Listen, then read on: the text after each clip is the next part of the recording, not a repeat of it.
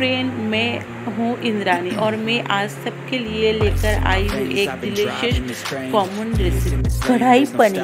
मैंने यहाँ पर लगभग एक सौ ग्राम पनीर लिया है। इसमें हम ऐड करेंगे लाल मिर्च पाउडर और नमक। और इसमें आधा नींबू का रस ऐड करके हम 10 मिनट के लिए ढककर छोड़ देंगे। मिनट के बाद एक कढ़ाई में तेल गरम कर लेते हैं। उसमें पनीर को अच्छी तरह से फ्राई कर लेंगे। पनीर अच्छी तरह से फ्राई होना चाहिए। हमारा पनीर फ्राई हो गए। अभी उसी तेल में हम इस टुकड़ों में कटी हुई शिमला मिर्च को फ्राई कर लेते शिमला मिर्च फ्राई हो गए हो गए, उसको उठाकर उसमें ऑनियन या प्याज डाल देते प्याज को भी फ्राई करके उठा लेंगे।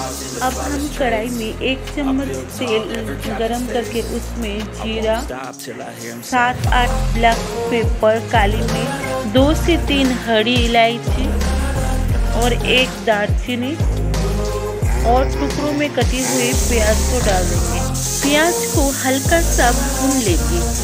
इसके बाद हम डाल देंगे अदरक और लहसुन का पेस्ट। इन सबको अच्छे से मिला लेंगे। फिर इसके, इसमें डालेंगे हम टमाटर और नमक। अब इस सबको अच्छी तरह से पकाएँगे।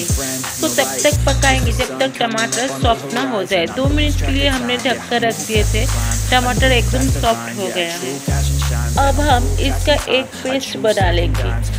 इस हमने यहाँ पर पेस्ट बना लिया है। अब एक कढ़ाई में तेल गरम करके दो तेजपत्ते, एक बड़े दालचीनी और जो पिसी हुई पेस्ट या प्यूरी हमने बनाए थे, उसको भी डाल दिया है। इसमें एक चम्मच लाल मिर्च का पाउडर कर दे अच्छे तरीके से। इसके साथ एक चम बड़े चम्मच धनिया पाउडर और एक छोटा चम्मच हल्दी का पाउडर। इन सबको अच्छी तरह से हमने मिलाकर नमक स्वाद अनुसार दे दिया है।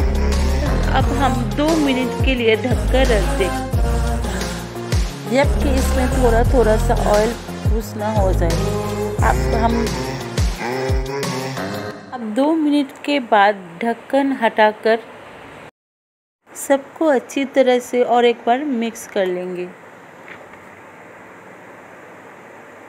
फिर इसमें हम डाल देते हैं कसूरी मेथी और थोड़ा सा क्रीम क्रीम यहाँ पर ऑप्शनल है, आप चाहे तो मत डालिए। फिर दो मिनट के लिए हमने ढककर रख दिए थे। फिर देखो मसाला कितना सुंदर कलर आया है इसका। अब हम जो फ्राई किए हुए ऑनियन और शिमला मिर्च भी डाल देते हैं और इसको भी अच्छी तरह से हम मिक्स कर लेते हैं। फिर एक मिनट के लिए और ढक कर रख देंगे। एक मिनट के बाद फिर दो तीन मिनट पकाने के बाद इसमें हम ऐड कर देंगे पनीर के टुकड़े।